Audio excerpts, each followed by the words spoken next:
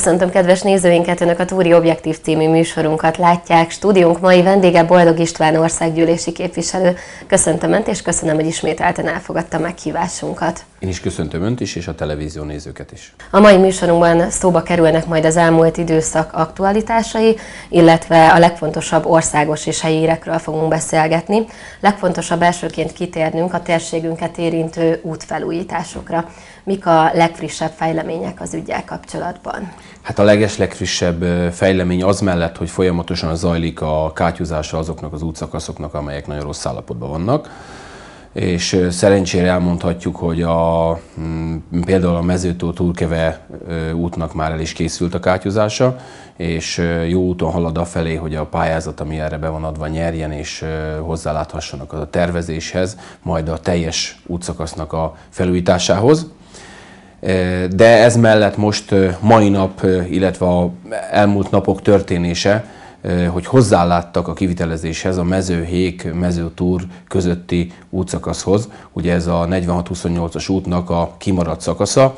Ebből most mindegy egy közel 6 kilométeres rész lesz felújítva, és akkor marad egy 3 kilométernyi körülbelül, amit majd egy másik forrásból fogunk felújítani. Most erre volt lehetőségünk.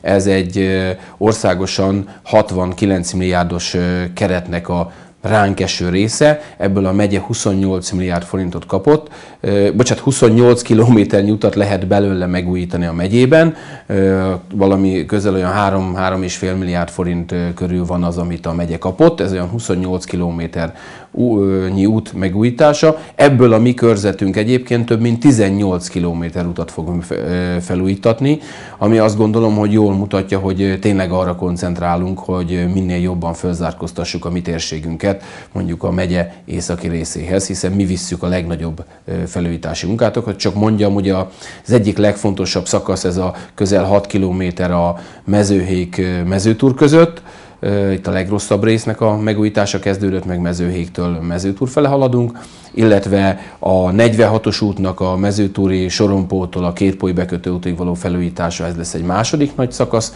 a körzetünkben, és egy harmadik, az pedig Kunszen Márton alatt a 44-esnek lesz egy felújítása. Így tevődik össze ez a 18 km, ami mi körzetünkre esik. Én azt gondolom, hogy ez egy nagyon jó eredmény. Ez mellett természetesen majd a megyei, által ki, megyei önkormányzat által kiírt top pályázatok keretén belül még újabb útfelújítások lesznek a mi térségünkben is, tehát azon vagyunk, hogy a lehető legrosszabb állapotban levő útjainkat a lehető leggyorsabban megpróbáljuk felújítani, teljes pályás felújítással, mert a kátyuzás az nyilvánvaló, hogy az folyamatosan megy, amikor csak tehetik a szakemberek, akkor végzik ezeket a munkálatokat, de itt ugye a legfontosabb a teljes pályás felújítás, ami biztonságos közlekedést okozhat. Annyit hagy mondok el a mezőhék mezőtúr útra, hogy most is onnan jöttem, megnéztem a munkálatokat, nagyon sok gond van ezzel az úttal. Gondoljanak bele, hogy amikor ezt annak idején több tíz évvel ezelőtt, talán 30-40 évvel ezelőtt megépítették, akkor ennek az útnak az alapja az akkori forgalomra volt megépítve, amit egy idős bácsi mondta nekem a köztető fogadalom, hogy hát képviselő tudja, úgy van ez, hogy annak idején ezt még lovaskocsira építették, mert én azt mondtam neki, hogy hát ezt még az ifákra építették meg, meg a MTZ-kre. Erre mondta, hogy nem képviselő, ezt még a lovaskocsira építették ezeket az utakat, és bizony annak nem volt olyan terhelése, mint egy mai nagy kamionnak, sőt az utakon se járt annyi autó, mint ma. És gondoljuk meg, hogy ennek az útnak az alapja, ha valaki arra jár és megáll, megnézi, akkor 20 és 30 cm között van az út alap ami borzasztó vékony, főleg ha azt nézzük, hogy ma egy kerékpárút építésénél is minimum 20 centi ajzat követ raknak, és erre teszik aztán rá majd az aszfaltot. Tehát jól látható, ez egy nagyon-nagyon vékony alap, nem ezekre a nagy autókra van számva. Most is azon dolgoznak a szakemberek, hogy megtalálják azt a módszert, ahogy például azt a nagyon rossz agyagos talajt, ami az út alatt van, az út alap alatt van, azt valahogy meg tudják fogni, mert ráadásul nem elég, hogy kicsi az út szerkezete, tehát vékony az út szerkezete, de még ráadásul az alatta lévő talaj egy ilyen agyagos, sáros anyag van alatta, azt is valami módon meg kellene fogni, mert bizony ennek köszönhető az, ennek a rossz talajnak, meg a vékony útszerkezetnek, hogy tönkrement ez az út. Persze hozzátehetjük, hogy az elég jó bírta, hiszen legalább 30-40 éve nem volt teljes pályaszerkezetes felújítás ezen az úton. Most lesz, elindult a beruházás, és hónapokon belül el is fognak készülni, át fogják adni, és azon a szakaszon is biztonsággal tudnak majd közlekedni az arra járók. Fontos kitérnünk egy múlt heti eseményre is, amely helyi és országos szinten is érinti a lakosokat, ugyanis a vasárnapi boltzár eltörléséről szóló javaslatot tárgyalta meg kivételes eljárásban az országgyűlés múlt keddi ülésén, és visszavonták a vasárnapi pihenőnapról szóló törvényt. Képviselő úrnak mi az álláspontja az ügyel kapcsolatban?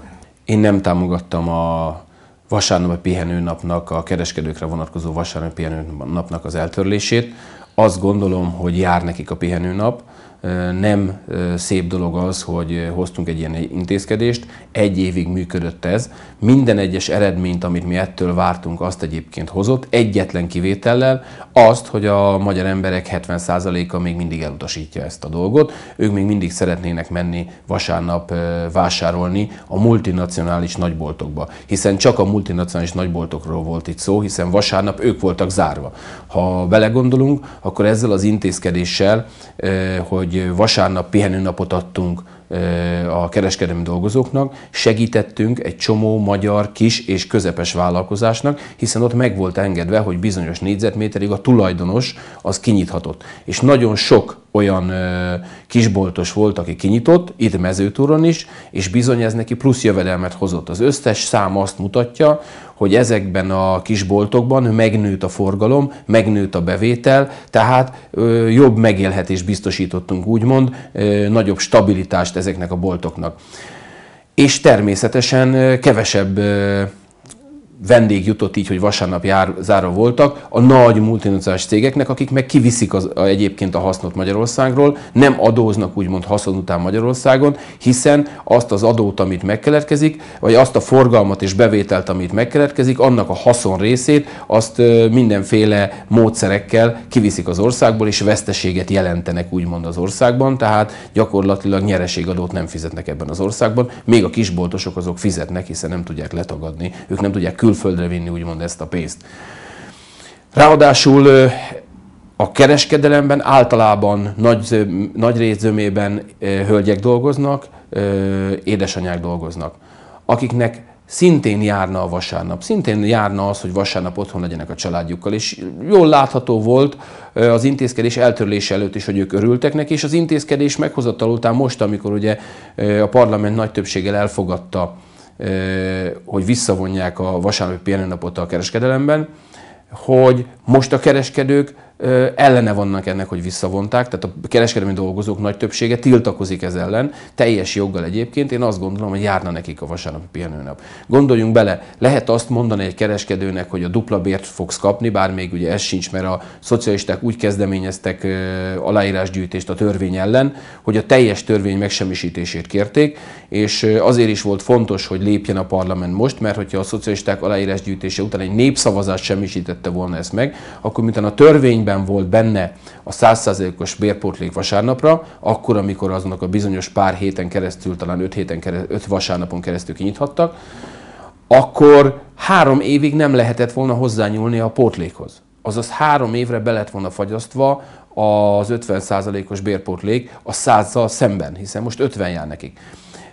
Én értem azt, hogy a szocialistáknak, a jobbikosoknak ez nagyon jó volt, mert ezzel jót tettek a multiknak. Ezzel az egész intézkedéssel, hogy elkezdték az aláírásgyűjtést és, és kikényszerítették a politikai munkáiknak köszönhető, az emberek nem tudták elfogadni azt, hogy vasárnap zár vannak a boltok.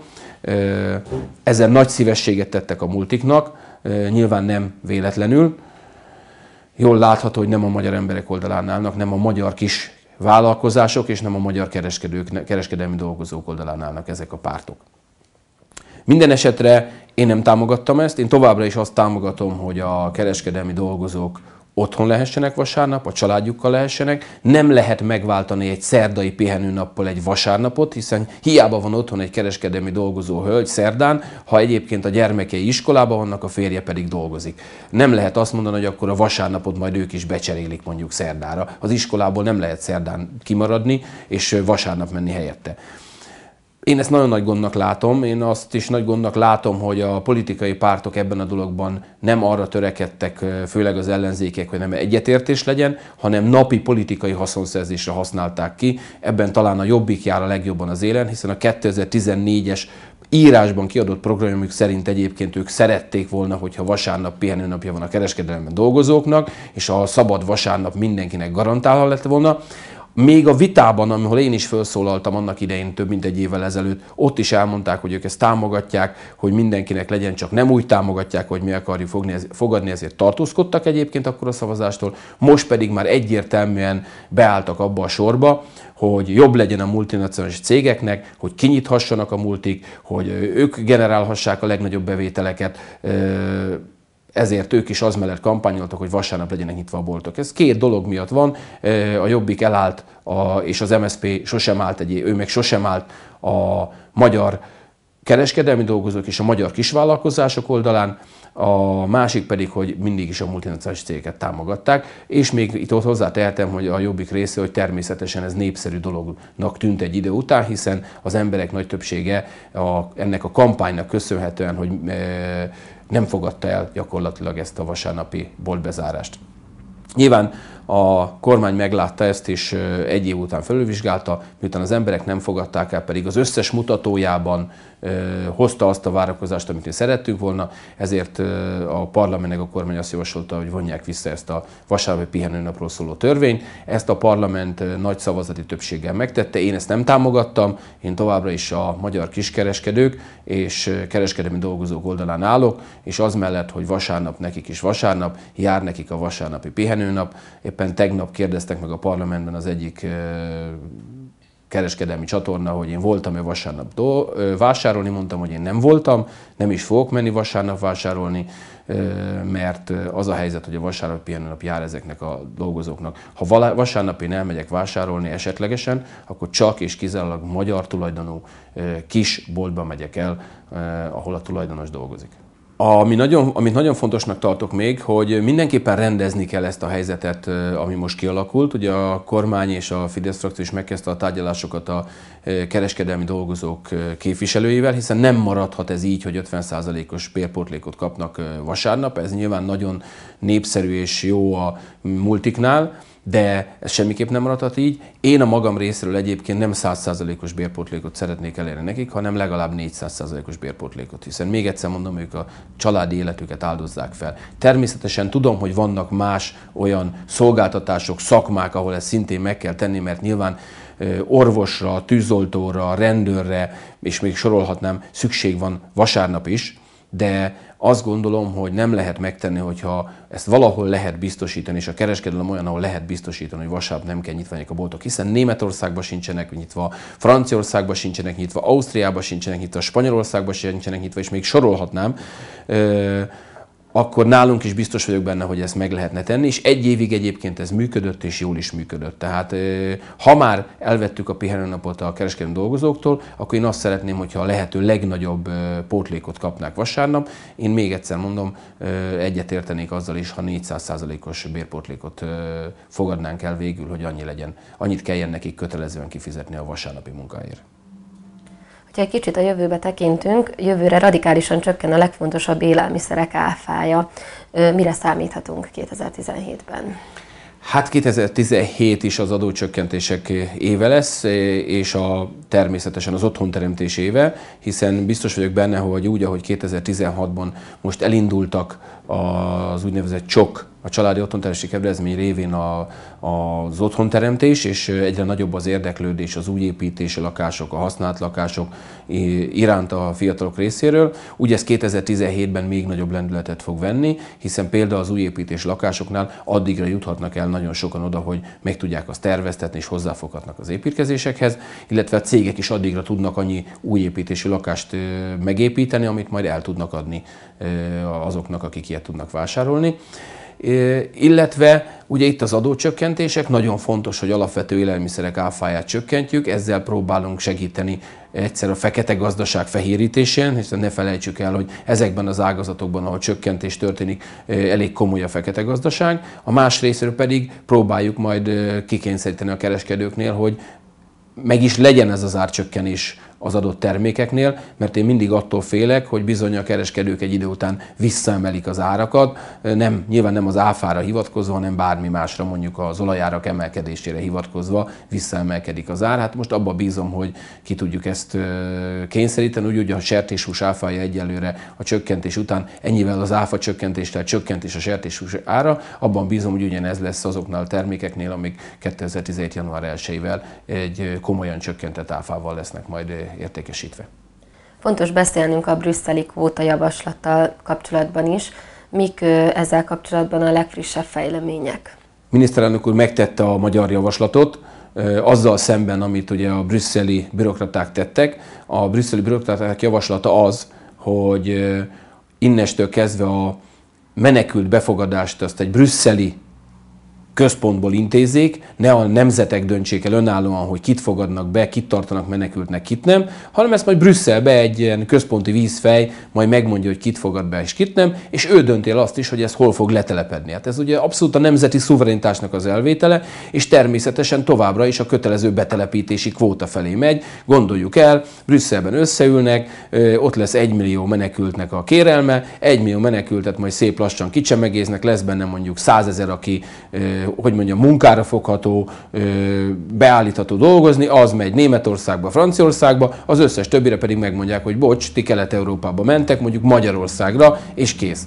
Ez egy abszolút lakosságcsere, úgymond, gyakorlatilag a saját országunkból próbál Brüsszel ilyen módon kisebbségbe szorítani bennünket, megpróbál kiszorítani bennünket Brüsszel a saját országunkba. Hát ezt nem hagyhatjuk, ezért a miniszterelnök úr egy 10 pontos javaslatot terjesztett elő, és most azon dolgozik, hogy minél több európai tagállammal megpróbálja elfogadtatni, hogy azt támogassák az európai tagállamok, hogy lezárjuk a határokat, nem engedünk be csak tényleges menekülteket, és semmiféle menekült kvótátról, kötelező betelepítési kvótáról nem lehet szó, meg kell oldani a minden országnak saját magának, hogy a munkaerő hiányát azt gyakorlatilag saját magán belül, illetve Európán belül próbálja rendezni. Azért mégis furcsa dolog az, hogy Európán belül Olaszországba, Spanyolországba, Portugáliába rengeteg fiatal van munkanélkül, míg Németországban egy csomó munkás kézre lenne szükség, és nem arra gondolnak, hogy a, ezekből az európai fiatalokból töltsék fel a munkaerőt, hanem arra gondolnak, hogy hoznak majd e, valahonnan Szíriából, Afganisztánból, nem tudom honnan munkaerőt arra, hogy ezt elvégezzék. Hát ha ott van az európai munkanélküli fiatal, akkor az európai munkanélküli fiatalnak kellene felajánlani ezeket a munkákat, én úgy gondolom. Ki fogunk tartani, én abban vagyok, abban bízom, hogy, és biztos is vagyok benne, hogy a magyar emberek támogatják a kormány ezirányú politikáját, és támogatják azt, hogy népszavazással döntsünk arról, hogy elutasítjuk a kötelező betelepítési kvótát, amit Brüsszel mind a mai napig ránk akar erőltetni, mindenféle új és új módszereket kitalálva, mint például ez, hogy majd akkor egy központból eldöntik, hogy ki a menekült, és kinek kell majd őt befogadnia. Úgyhogy arra kérek mindenkit, hogy támogassa azt, hogy minél hamarabb meg tudjuk tartani a népszavazást, és közösen az egész ország utasítsa el Brüsszelnek a diktátumait, és utasítsuk el a kötelező betelepítési kvótát. Ez a nemzet jövője szempontjából azt gondolom ma a legfontosabb kérdés. Ha átérünk a térségünket érintő hírekre, a Török Szent Miklóson és Mezőtúron új kormányablak kerül kialakításra. Hogyan állnak jelenleg a munkálatok? A munkátok jól állnak, ha minden jól megy, akkor holnap lesz a műszaki átadás, és hónap vége, vége környékén megtörténik a, az átadás ennek a két kormányablaknak, és akkor hamarosan a lakosok már ott intézhetik az ügyeiket. Én azt gondolom, ez nagyon fontos, megpróbálja a kormány fölgyorsítani a kormányablakok kialakításával és egyszerűsíteni az ügyintézést, és mint ahogy ez Kunszentmártonban például a mi körzetünkben már sikerült, így biztos vagyok benne, hogy itt is sikerülni fog, és elégedettek lesznek a lakosok az új kormányablak működésével. A közelmúltban több településen is tartottak vállalkozói fórumot, ahol a képviselő úr is részt vett. Mik a tapasztalatok a fórumokkal kapcsolatban? Nagyon fontosnak tartom, hogy az Európai Uniós pályázatokon a vállalkozások minél többen vegyenek részt.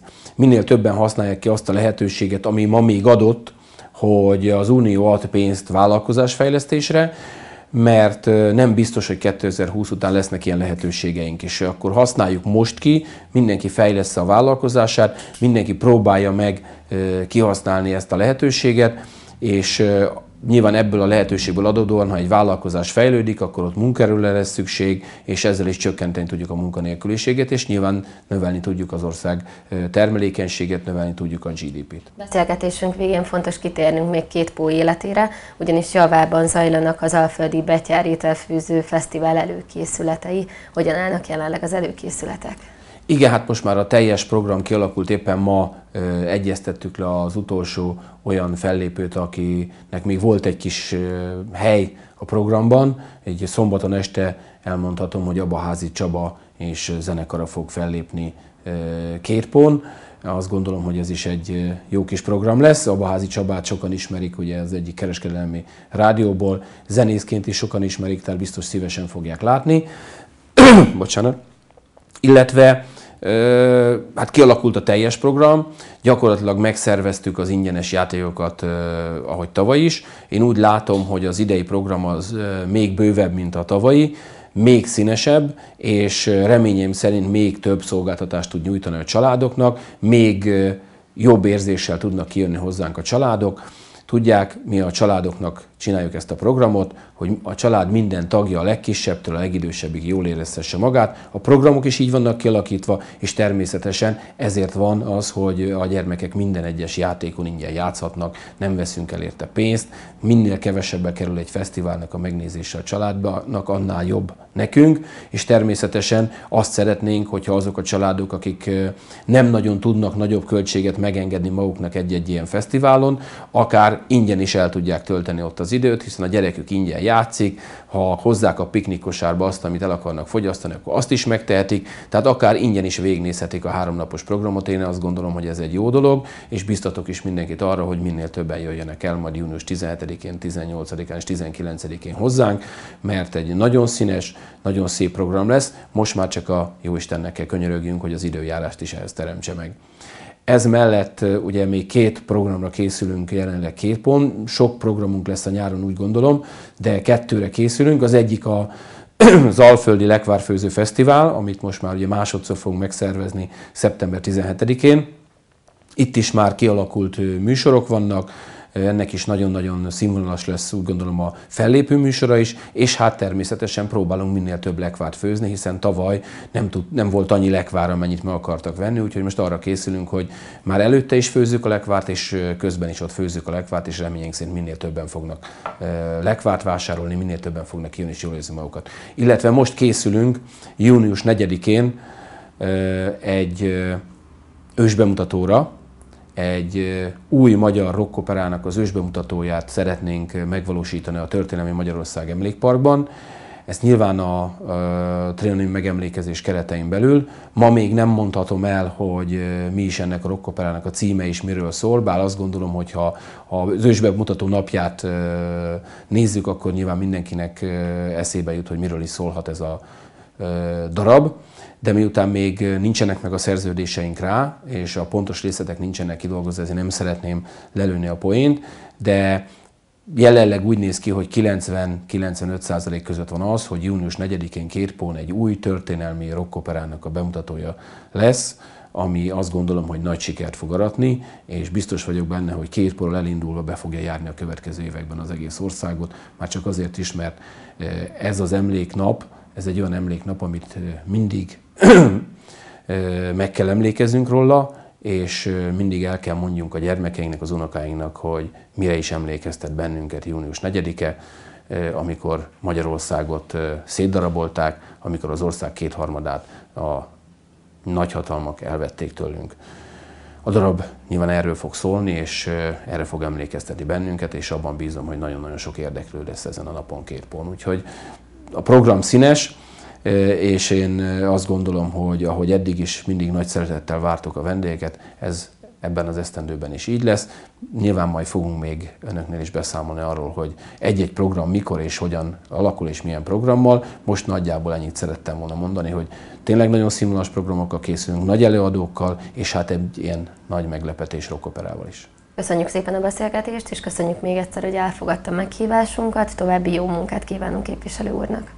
Én is köszönöm szépen a beszélgetést, mindenkinek nagyon szép napot kívánok. Önök a Tóri Objektív című műsorunkat látták, további szép napot kívánok Önöknek a viszontlátásra!